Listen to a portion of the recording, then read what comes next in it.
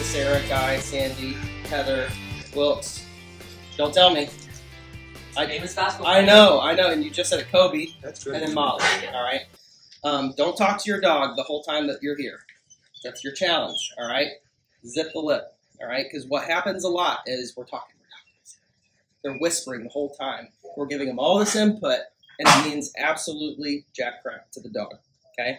They speak dog, right? we speak English. So all of this stuff is about speaking the same language, right? We want to get on the same page. We want to know that we're actually communicating something to them. Okay. My name's Matt Burnett. I'm from Texas originally, from Dallas Fort Worth area. Um, I was the GM at Global Canine for a little while, and then I started my own business and have been doing that full time now for five years. I've been training dogs for 14. Um, I am the training director at Rural Animal Rescue Effort, which is right down the road. Don't visit us. Don't knock on our door. Don't honk your horn when you go by. But if you want to come see some dogs, call me, text me. You're welcome to come visit. You're welcome to also come just let your dog run. Uh, we have a big fenced in property. Our backyard is about that big right there. So we've got enough room to run. Um, it's free. you don't need to pay us or anything. But we do have a lot of rescue animals. So if you know anybody who uh, would like to foster or something like that, we're always open to that. Um, also, volunteer opportunities. So, the main reason that I got into pet dog training was that I wanted to make sure that people had the ability to keep dogs in their home. Because let's face it, the reason that dogs go into rescue is because at some point there was a deficit that they could not fill. Okay? So, ultimately, all the dogs that are with us, we foster probably about 20 or 30 dogs at a time and then we have six dogs of our own, and then I do a little bit of boarding for my my training clients. Okay, I'm not making a dime to be here today. Um, for for me, this is practice for me to teach seminars. So what you'll notice is that if you do a couple of things, your dog will calm down. Your dog's energy will be a lot more chill, right? Notice that when if you first got here and Lucky was screaming basically at Rusty and at Sandy, and Sandy was doing what? Talking to him, right? But that's what we do, right? That's that's what we do to calm each other down. So if, if someone gets in a wreck, hey, everything's okay, right? Everything's gonna be fine. I'm gonna help you out. If you do it to a dog, they're just like, no, right? Panic, right? Stay away from me. So super, super important that we realize that we're on a different wavelength here. Okay, so I'm just going to go through some really simple stuff that you guys can do on a day to day basis that is going to put relevance back in your corner. All right, relevance just means uh, the dog putting value on you. Okay, so when you say my dog doesn't listen, right? My dog blows me off. My dog doesn't recall. That's called relevance. Okay, whenever we're talking about behavior, you probably covered this in your high school or college class. Whenever you're talking about behavior, you have four options, right? If I want to increase a behavior, what's that called? Reinforcement. Reinforcement. What about if I want to decrease a behavior? What's that called? It's a bad word. It's a naughty word. We hate to use it. Some of us are gluttons for it. Correct. Punishment. Punishment. That's right. So I want you to think of positive and negative here, not as a judgment call or a criticism of good or bad, but as adding and taking away. All right. So if it's positive, that means I'm adding something. If it's reinforcement, it means I'm increasing. Okay. So you're adding something to increase. You're removing something to increase. You're removing something to decrease, or you're adding something to decrease. And that is the order that I like to take things in. Okay? That's all great. That means nothing. You can forget everything that I just said. We're going to simplify this a little bit. What can I add to the dog? What can I give to the dog that will encourage the likelihood of that behavior again in the future? Treat. Treat? To Sarah has something. What is that? Say uh, a positive attention. What's in your hand? This is a treat. No, the other one. Oh, a There you toy. go. A toy. Treat, toy. What else? I think someone said it. Petting them. Petting. Touch. All right? Treat, toy, or touch. What's that called? Positive reinforcement. Yes, but what else is it called? What's another word for it? Uh, Reward. Reward. Reward. Ah, there we go. Reward. Couldn't work out from school. Nailed it, Bill. Yes, sir. All right. So treat, toy, or touch. So put simply, reward. Okay. What about negative reinforcement? This is always a funny one because we all usually when we hear negative reinforcement, we think corrections, right? That's our, the first thing that we go to. I'm going to go ahead and cheat for you and go ahead and call this correction down here.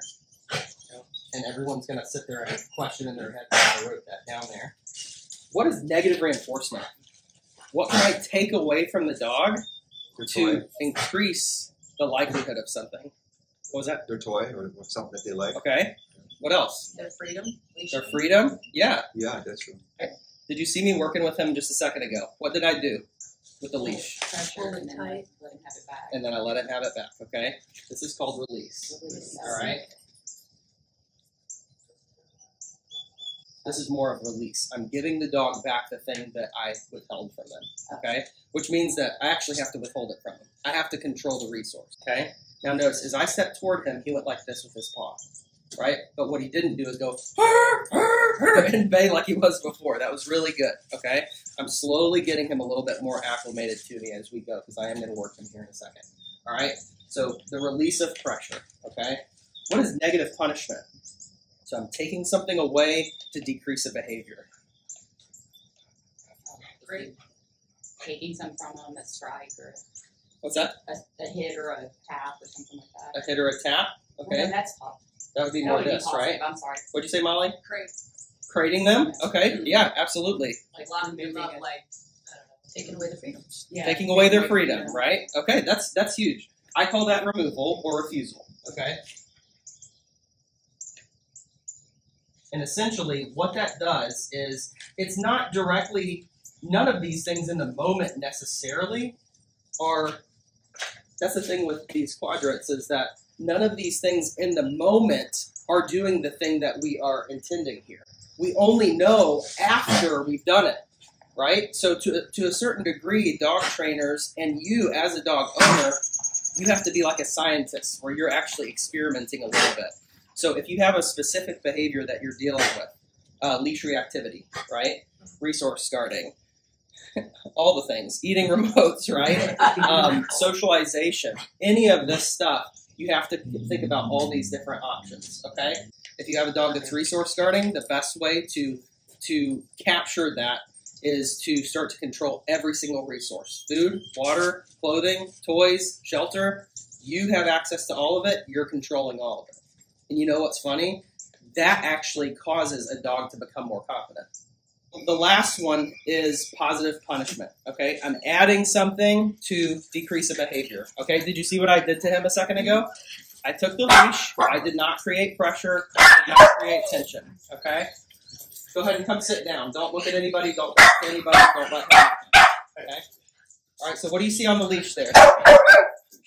Pressure. Pressure, tension. Right. Tension is the number one cause of reactivity. All right. If you alleviate tension, then you alleviate the reactivity.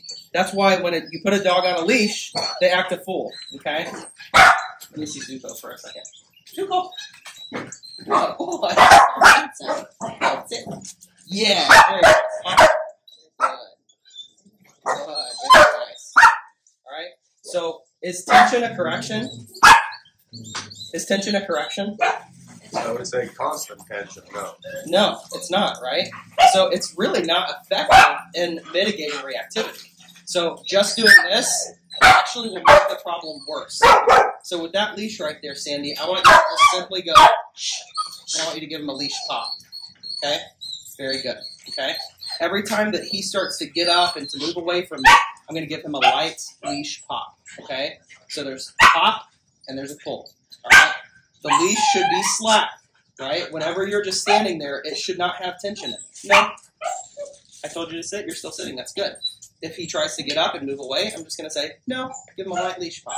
All right? Very good.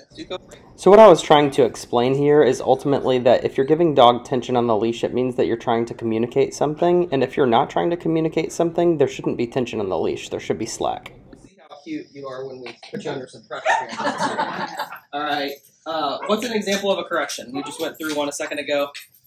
The leash pop. leash pop. Okay. What else? Th- There should be something that I want you to think of this more as an interruption in thought process. Okay. So if you have behavior, behavior, behavior, and it's escalating and it's getting more and more, how do you train a really beautiful Malinois to go after a decoy? You turn on tension. you turn on pressure. And then through that tension and pressure, it explodes into the reactivity that you have focused and channeled for a purpose, right? That's why they're so good at what they do. So ultimately, when we're dealing with all of this stuff, this is all great, right? But we're not scientists and we're not dog trainers per se. What I would rather do is teach you some really simple exercises that you can use with your dog that are going to be pretty straightforward, okay? The first one is uh, we talked about that positive reinforcement. It's called free shaping. Does anybody know what free shaping is? No? Free shaping? Okay. Free shaping is the use of food or some sort of reward to allow your dog to offer things to you naturally without you giving a cue, without you giving a command, without you giving pressure or any sort of uh, maybe spatial pressure. The dog is offering things to you without you doing a single thing. So all we're waiting for is a behavior from the dog that we want. All right, name off some behaviors. Uh, That we want, uh, recall, sit, stay. calm. That, that is a behavior. That's more a state of mind, I guess. Down. Down, off, Recall. leave it, Go. drop it. Should we go on? So a lot of you are saying commands. Sit. So these are things that a dog is doing. They can like I don't know why this can't working. Anyway, um, the next thing that needs to happen is we need to identify somehow that the dog is doing what we want it to do. All right, and that is called a marker. Um, a couple examples of a marker is I can say yes. I can say good. I can say good boy. Whatever. Like you can do whatever you want to for your marker. All right. I like yes because I carry my yes with me everywhere. I don't have to use a hand for it, and uh, my dog never gets tired of hearing it because right after I say yes, I I reward. That's right. So when I give that reward, which can be what three things: Treats. treat, Toys yep, and a pet and a head. and touch. That's right. Excellent. You guys are awesome. All right. So what this process does is, what was the word that I said that everybody is looking for? It's an R word. Not recall, but Reward. Relevance. Okay. Relevance, relevance. This whole quadrant right here, the number one purpose of positive reinforcement is to establish relevance between you and your dog. Okay. What I- establish relevance. Okay? So, for example, Bernie is very excited about me. All right? I don't know why, but I'm going to handle him here in just a second. Who's he not looking at? He wants to bite you. His owners. His owners, right? Why does he not look at his owners? If they he feels they're not relevant. He feels they're not relevant, right? So, whenever you get into a situation where you have zero relevance and lots of attraction, what usually happens?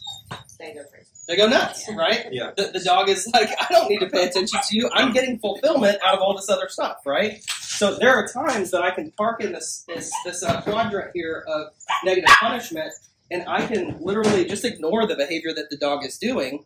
The problem is, and eventually the behavior would go away if it's not reinforcing in and of itself, right? So if he's jumping on people, jumping, jumping, jumping nonstop, that is very fulfilling for a dog. If he's barking, barking, barking nonstop, that is very fulfilling for a dog, especially barrier aggression, right? Barrier reactivity, right?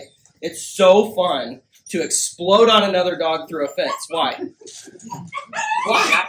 Just you. They they go react. back. Yeah, and and there's a wall, right? Yeah. Like I would love to go up to a UFC fighter and be like, "I'm gonna totally own you, dude." Right? Right? With a wall in front of us. As soon as that wall goes away, hey, hey, hey. oh, that was some other guy, you know. Um, so when it comes down to establishing relevance, the goal is to ultimately create a matrix of motivation for that particular dog to start putting that relevance on you. All right. So whenever we start to talk about, oh, well, I go out in public and my dog's reactive. I go out in public and my dog is focused on everything but me. They don't recall to me. They don't call. They don't won't call back to me. What does that mean about you taking the dog off the leash? It's not going to be a good idea. Okay.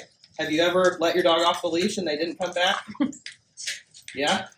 Or, or maybe not for a second. Maybe they, they just didn't come back immediately. Um, so lack of recall is one of the number one problems in dogs, and I think everybody said lack of recall. Right? Dog's not coming back to me.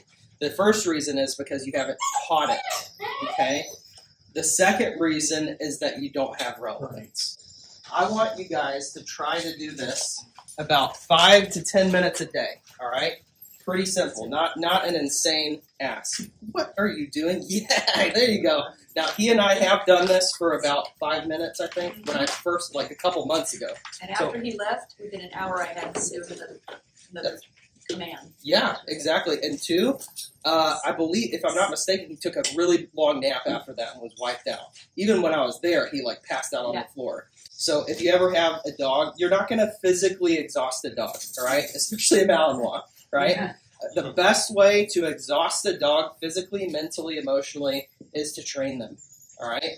And training doesn't have to be this hour session every day.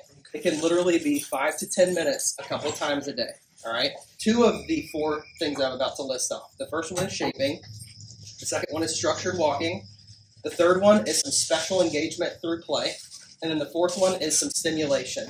What did I ask you to do when he was barking, barking, barking? They walk around along these. Yep. Yeah. Did it help? Yeah, it did. Did it stop completely? Yeah, it, It did. up. Yeah, yeah. Yeah, pretty fast. Yeah. So we needed to take the pressure off just a little bit and allow Lucky a chance to just decompress, right? So with Rusty, you see that I have some relevance. Yes, good boy.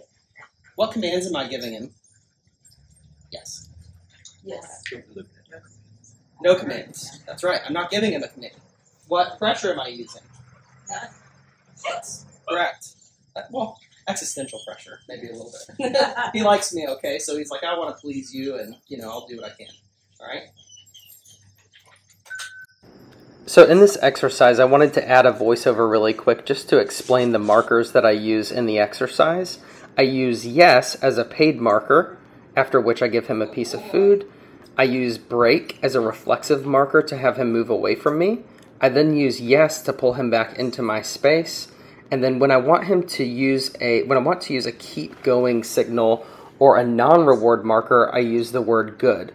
You'll see here in just a second that when I say good, he actually proceeds into a down because he knows that that's the next logical step in behavior. Yes.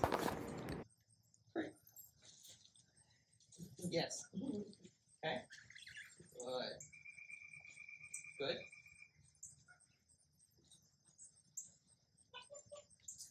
Yes.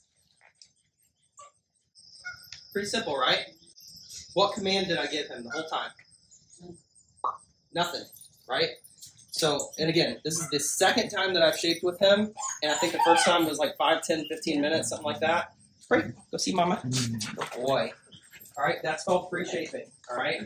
What free shaping does is it allows the dog to offer things to you proactively that you're not giving any sort of command for, and the reason for that is so that they can start to earn their food, so that they can start to earn a toy. So the best way to take advantage of that is to move from giving the dog everything that they want all the time to an existential food reward system for a period of time. I especially love doing this with labs because labs are so food motivated, right? Ellie is going to pick up on this. Lickety split, all right? Bring her around here. What behaviors did I get out of Rusty in three minutes? A sit, a down. I just waited for you. He did. What did he stop doing? Jumping, getting up on the table, etc., paying attention to other dogs. What was the other thing that we all needed to work on? Recall. That's right. Even if it's from here to there, right? Just a little short distance recall. Okay. So what I want you to do is go ahead and come back just a hair, just a tiny bit, and you're going to use this path right here. Okay. Um, that's what 15 feet, right? That is enough space to train your dog on everything that you need to know. Okay. Uh, is that one leash or two? It's one. Oh, okay, gotcha. I was like, oh, it's, it's got two loops on it. All right. So what I want you to do is exactly what I just did. You're gonna hold this in one hand, and you're gonna use your voice as your clicker. Okay. Can you use a clicker? Absolutely. The only way to use a clicker is every, or the best way to use a clicker is the dog performance behavior. Instead of saying yes, you click. Right. Pretty easy. Right. Now, when I said good a second ago, what did I not do? You didn't get the treat. I didn't give the treat. I didn't pay him, right? Which caused him to then do what? Lay down. Yep, he went into a further behavior. Okay, so yes is a paid marker. Good is a non-paid marker, and it causes the dog. Uh, it's kind of like a keep going signal. So keep going. Give me something a little bit more, okay? I want you to just do one piece of kibble at a time, and I want you to just kind of move it just a second. Like let her long. Yep, and every time that she looks at you, I want you to say yes, and I want you to say, relax your arm. There you go. Step away. There you go. Right there. Yes. Yes. Missed it. Back up. Marker. Right there. Yes. Oh yes. Wait. My food. He's like, I'm, I'm the one supposed to be getting a thing here. Marker. Yes. Excellent. Very good. Yes. Excellent. Very, your timing is very crisp. That's very good.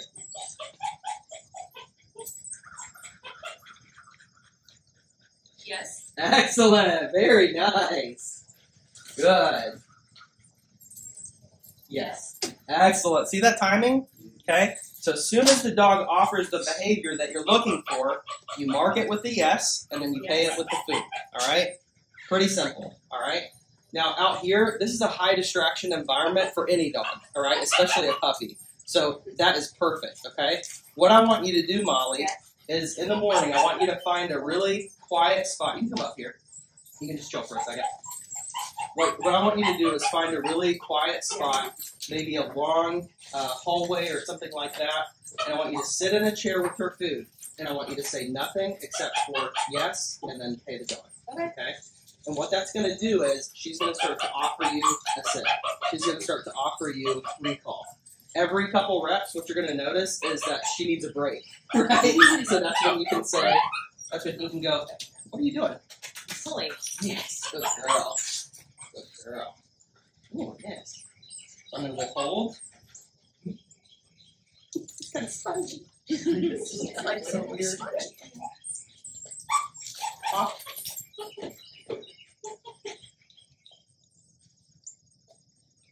Yes. Okay. So when dogs are jumping on you, best thing to do, just a little little knee bop right there, nothing painful, not kicking the dog, right?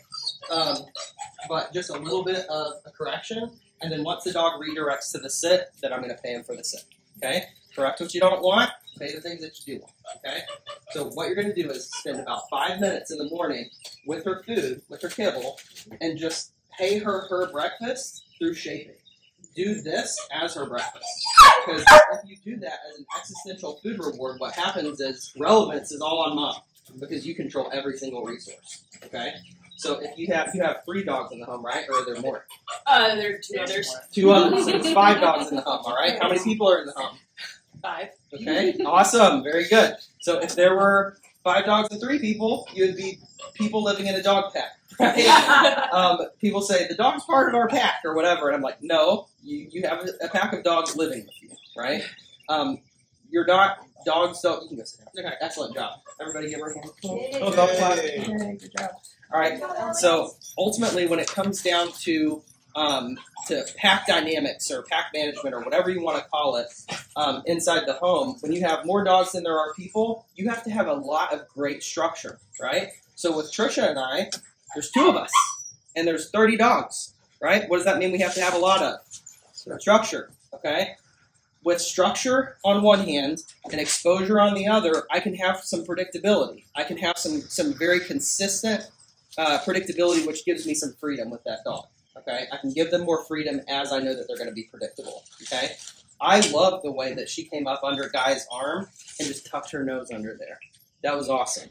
And to Sarah, felt like she could give her that freedom because she it was she was acting in a predictable manner. Now, if she was like, ooh, ooh, you know, like whining and stuff and trying to get under his arm, she would probably have held him held her back, right?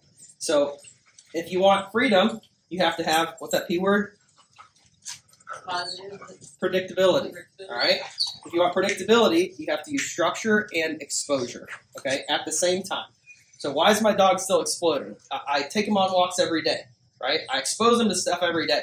But what are you not doing in your walk? You're not structuring your walk. Okay. So I want you guys. I have a challenge for you. Very simple. All right. I want you to take your dog's food every day and put it into two baggies. And I don't want you to feed anything to that dog out of a bowl at all for two weeks, let's say. Okay? Every single meal, every single kibble comes from your hand. All right?